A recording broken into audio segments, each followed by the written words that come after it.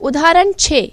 प्रश्न, एक सात मीटर चौड़ी सड़क एक वृत्ताकार बगीचे को घेरती है। बगीचे की परिधि तीन सौ बावन मीटर है। मार्ग का क्षेत्रफल ज्ञात कीजिए। इस प्रश्न में हमें ऐसे वृत्ताकार मार्ग का क्षेत्रफल ज्ञात करना है, जिसकी चौड़ाई सात मीटर है, और वह एक वृत्ताकार बगीचे को घेरता है। चित्र में देखें, यदि हम बाह्य वृत्त के क्षेत्रफल में से अंतःवृत्त के क्षेत्रफल को घटा दें, तब हमें वृत्ताकार मार्ग का क्षेत्रफल ज्ञात हो जाएगा। इसके लिए हमें सबसे पहले दोनों वृत्तों की त्रिज्याएँ ज्ञात करनी होंगी। तो चलिए, सबसे पहले हम ले लेते हैं। वृत्ताकार मार्ग की बाह्य त्रिज्या। इसे हम यदि लें R one meter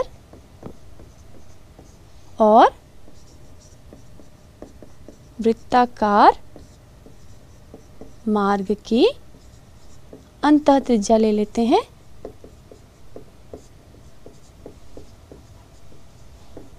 R two meter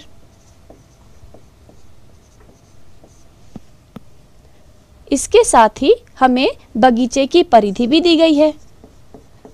बगीचे की परिधि बराबर है।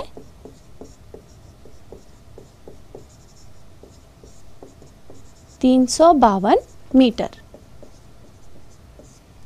तो हम लिख सकते हैं,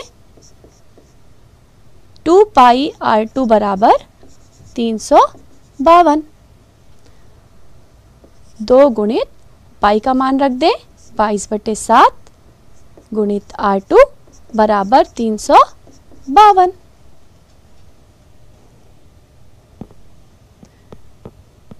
तब आर टू बराबर होगा तीन सौ बावन गुणित सात बटे दो गुणित बाईस।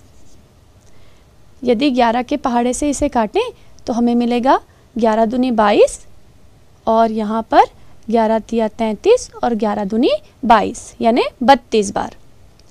पुनः दो के पहाड़े से इसे हल करें तो दो एकम दो और ये कटेगा सोलह बार।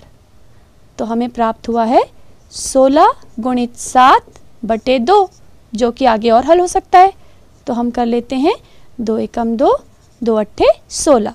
यानी कि आर टू का मान हमें प्राप्त हुआ है छप्पन मीटर।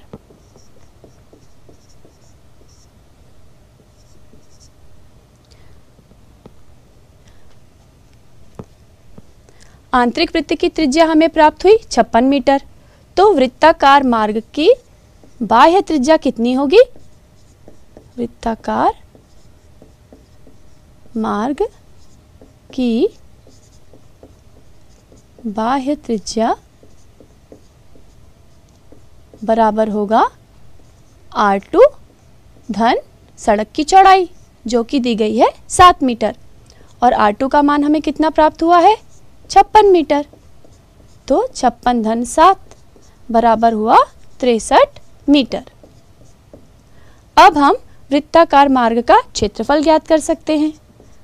तो होगा वृत्ताकार मार्ग का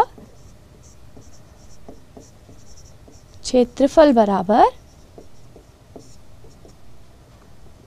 बाह्य वृत्त का क्षेत्रफल ऋण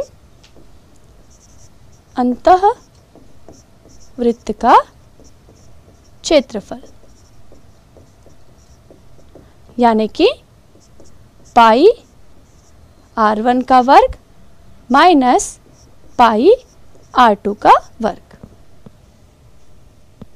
इसे हम लिख सकते हैं, पाई कोष्टक में आर वन का वर्ग माइनस आर टू का वर्ग आर वन और आर टू का मान रख लेते हैं तो हमें मिलेगा तिरसठ का वर्ग माइनस छप्पन का वर्ग।